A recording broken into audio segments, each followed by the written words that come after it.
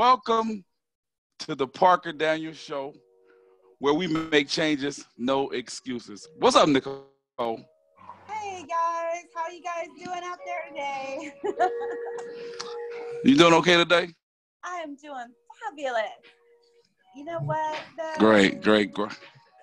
What's up? I really want some grilled food today. So what we got planned today? Well, we're going to take a trip to Missouri and speak with uh, a young man by the name of Chris Peltz. He's from Missouri. Uh, am I correct, Chris? Yes, sir. That's correct. And he has a YouTube channel called Blind Grilling. Um, you like you like? Can you grill, Nicole? You probably can't do nothing. I do not grill. oh, really? well, you, well, Chris is going to teach us a little bit how how how how to grill, and possibly after he finished, he's going to email us some of the food. But Nicole, I need to do a disclaimer right quick. Can I do that right quick? Yes, you can. Okay. Uh, for those who aren't aware of the scope of uh, the Parker Daniel Show, I'm gonna briefly say that it is established to give blind, visually impaired, and the sighted the opportunity to share their stories and hope that it has uh, some type of effect on others who may be experiencing the same or offering encouragement and that's just in short. So now that we got that out of the out of the way, Nicole, why don't you do the honors, my special, uh, lovely co-host, uh, of bringing on Chris Peltz from Blind Grilling. Can you do that for me, please? So, Chris, tell me a little bit about yourself and tell me um, about how you lost your sight, if you don't mind. So, yeah, I, I don't mind at all. Um, actually, when I was 10 years old, I was diagnosed with retinitis pigmentosa. And uh, in, within the, the first six years, I lost 80% of my vision. And uh, that was, you know, that was back in 1984 when I was diagnosed. And I'm 44 now, and uh, my eye, uh, my vision has progressively gone to uh, where uh, I don't have any usable vision for about the past 12 years. And, uh, you know, if, if the sun is out in one eye, my right eye, I can tell if the sun is out. But okay. that's, mm. that's about it. Okay. So, what have been some of your challenges as being a blind individual? Well, I mean, obviously, you know, there's, you know, the transportation and things of that nature, and accessibility has been a, a huge challenge. Um, you know, just relying on others for, you know, what used to be an everyday task that I would have to get help on. Um, and grilling was one of those things until, you know, I found some of the accessibility uh, options that were out there. But, um, you know, that, um, you know, it, it's challenging, you know, con- uh, having conversations with people when, uh, you know, if you don't know if they're still standing in front of you or if they've walked away. I mean, there's there's all kinds of challenges that we face, but um, you know, probably the biggest challenge, and my family has just been, you know, what if uh, you know, grab hold and hold on tight because if you if we lose you, we'll just have to come back and get you. So if you want to do what we're doing, um, you know, hang on and you know, let's go for a ride. So uh, I've been very fortunate having family around me that were uh, willing to help me along. Oh, that's awesome. That's awesome. So, the reason why you're on the show today is because you have found a way of grilling that makes grilling more easier and accessible for you. So, I'm going to give you the floor and let you talk about your product. Okay. Yeah. So, um, with blind grilling, um, it, it, it, began uh, probably about uh, 15 years ago when I was using a regular grill, you know, metal grill, and constantly burning myself. And my brother uh, came over one day and, and I was going to grill some steaks for him and his family. And he just really started feeling sorry for me as I felt around the grill and burned myself and he knew about a grill that's called a big green egg that is a ceramic grill and uh, the the ceramic grill maintains the heat uh, so that I can touch the outside of it without burning myself. And so so he brought over one of those eggs and uh, showed me how to use it. Um, and it was still a little bit limiting because I had to have sighted help to read the temperature to me uh, until just a couple of years ago, a company called Flame Boss created a controller and made it accessible for the blind that will connect to not only the big green egg but other grills as well and it, it connects through wi-fi to your phone so that i can use voiceover on the iphone Right. and uh, it you know it has a pit probe so it will read to me the temperature of the pit uh, it has meat probes, so i know the temperature of my meat. And it also has a, a controller fan so that it i can actually set the temperature on a charcoal grill and it will control the airflow uh, and i can monitor it and control that all with my iphone or an amazon uh, alexa. Um, i can control it with my voice. And so i don't have to have sighted assistance to use the grill anymore. Oh wow, that is awesome. So, real quick, will you take us and let us see what the green egg look like, looks like, and maybe um, do a quick grill demonstration for us?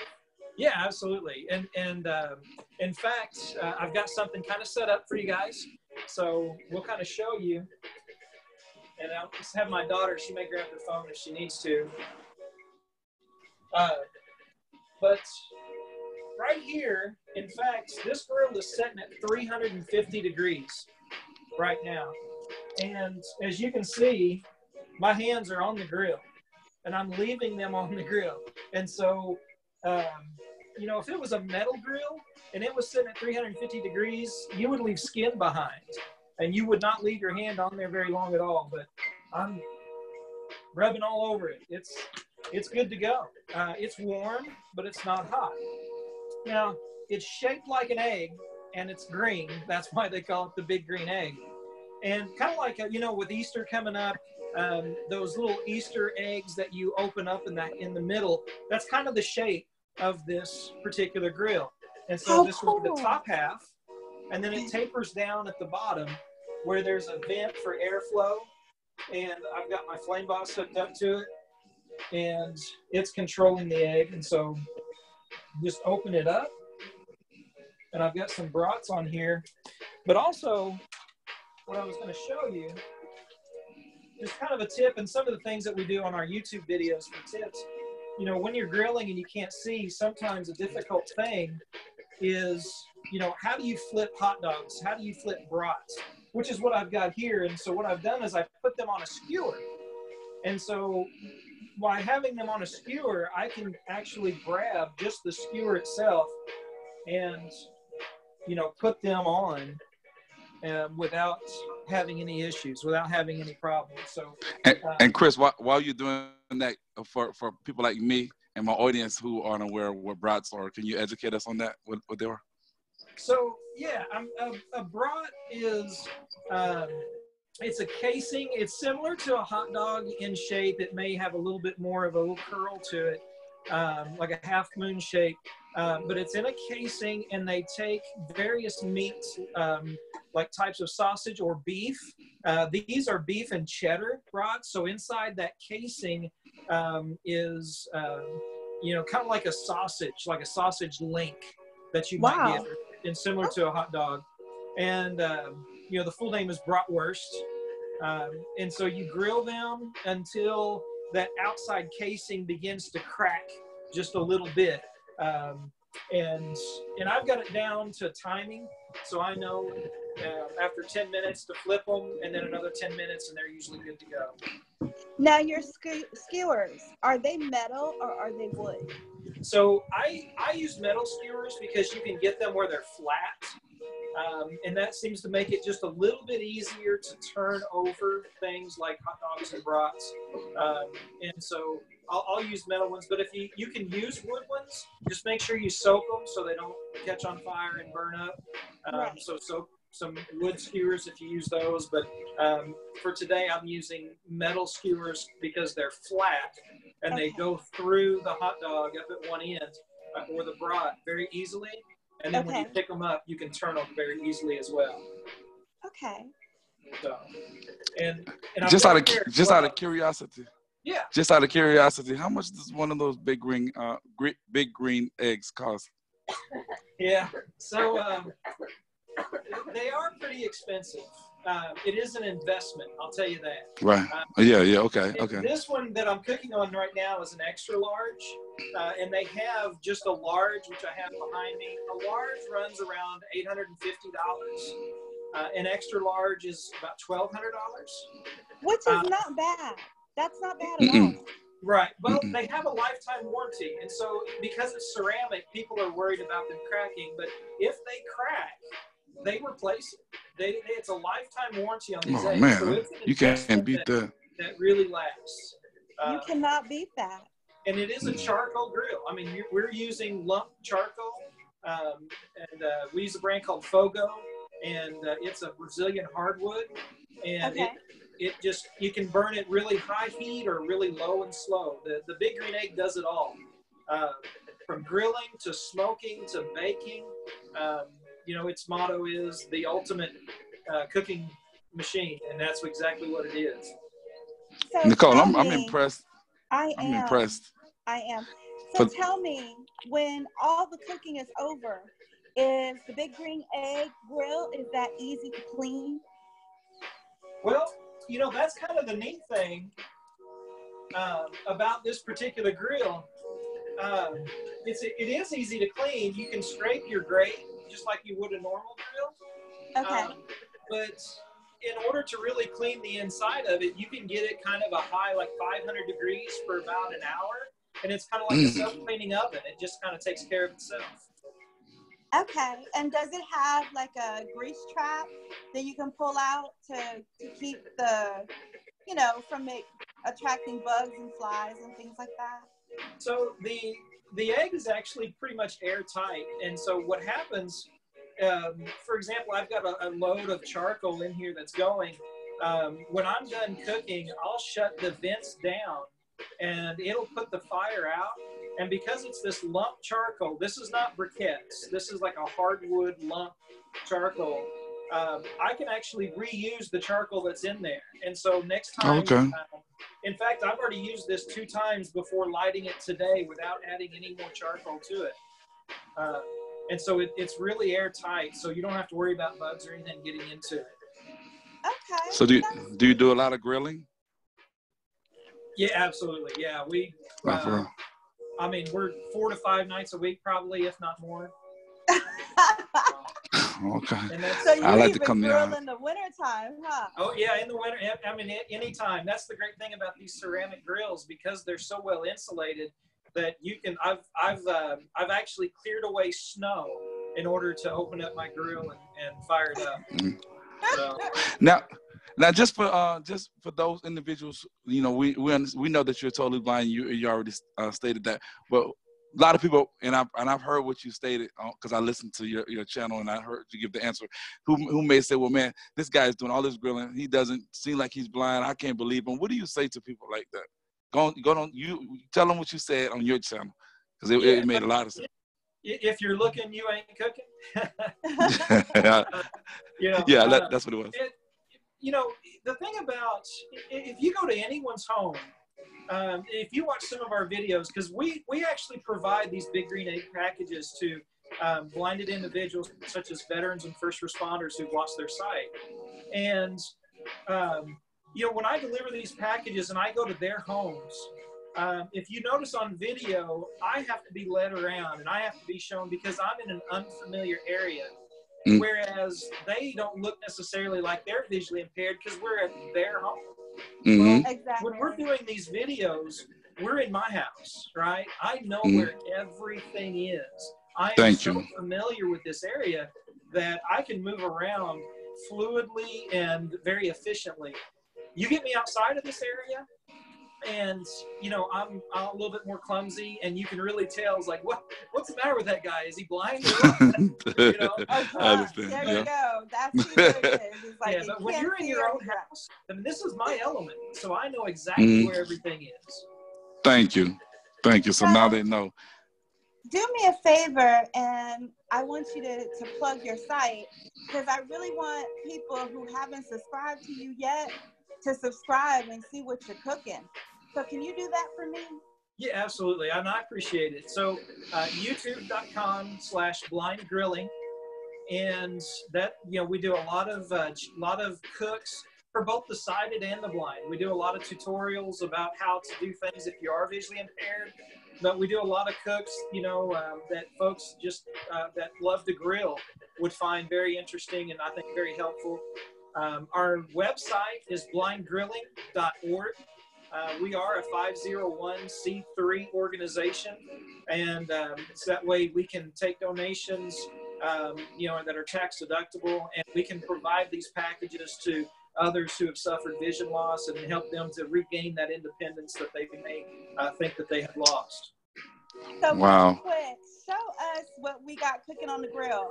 That's what I was going to say, Nicole. To you enough time to um, look. My co-host is so hungry. She likes food, so I was going to ask that same question. So please show the, the, the, the sausage. Yeah. So we've got we've got our brats and we've got our hot dogs on the grill right now, and uh, you know they're going. Is that something like, like a knockwurst? What's that? Is that something like a like uh, a knockwurst like uh, I think a, like a Polish dog, Polish sausage yes. or something like yeah, that. Yeah, very similar to like a Polish sausage. Yeah, absolutely. This is just beef and cheddar uh, in the casing instead of uh, some of the other uh, ingredients and spices, but uh, very similar. Yep. You know, kielbasa. Okay. You know, yeah, yeah. Sausage and kielbasa are already cooked. These are not. These these uh, are raw, so they have to be cooked, not just heated up. Okay. So so no, you straighten in a in a sausage out of curiosity, what do you put on your uh, your brats? You put um, mustard, ketchup? I, I, do Chinese hot mustard. Oh my goodness! Oh, I like yeah, that. Yeah, I like that. On a brat, yeah. a Chinese hot mustard or a uh, uh, horseradish sauce. Horseradish, uh, yes. Yeah, yeah, we'll, we'll okay. do that. And uh, yeah, that's that's what I prefer on my brats. Okay. Well, well, you're making me hungry, Chris. Can you give us some words of encouragement? Because my, I think my, I hear my, my co-host's stomach growling and whatnot, and, and, and also email us one of those brats. Nicole, I'm gonna get one of those. I'm not gonna say you none, but give us some words of encouragement. Give us and the audience some words of encouragement. Because we really thank you for coming on here, sharing what your story, and, and, letting everybody know that hey, there is life after blindness. No matter what, you're not gonna, you, you don't let that bother you. You continue to do what you have to do. So give them some words of encouragement. And my coach, yeah. she'll close the show. Yeah, absolutely. And and again, it's it, it is the, the very fact that don't give up. You know, don't stop. There there are times when it is frustrating. Trust me, I get that. Um, but at the same time, um, you, you can't stop. You know, you can keep going. And if there's something you love, something you're passionate about, you can find a way to get it done.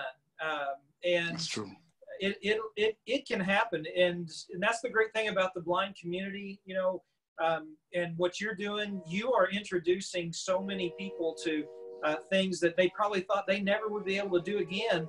And it's, um, there are those who are, have found a way and are trying to share that with others. And so, um, so reach out, you know, that's one reason I do the YouTube channel. That's one reason you're doing this.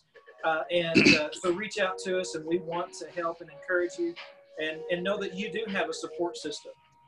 Thanks a lot. Well, well, thank you, Chris, for showing us the green egg.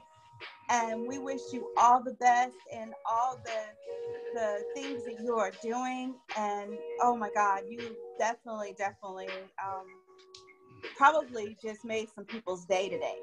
It smells so good. I'll tell you that. I'm coming over with my sauerkraut. I, t- well, I told you, I told you she was greedy. she loved to eat. But definitely, Nicole, go on and close it out, sweetie. All right, everybody. I just want to say thank you again for subscribing to our show. If you haven't subscribed already, please hit that subscribe button, hit that like button, put your comments in the comment section. Let us know whether you like us or you don't like us.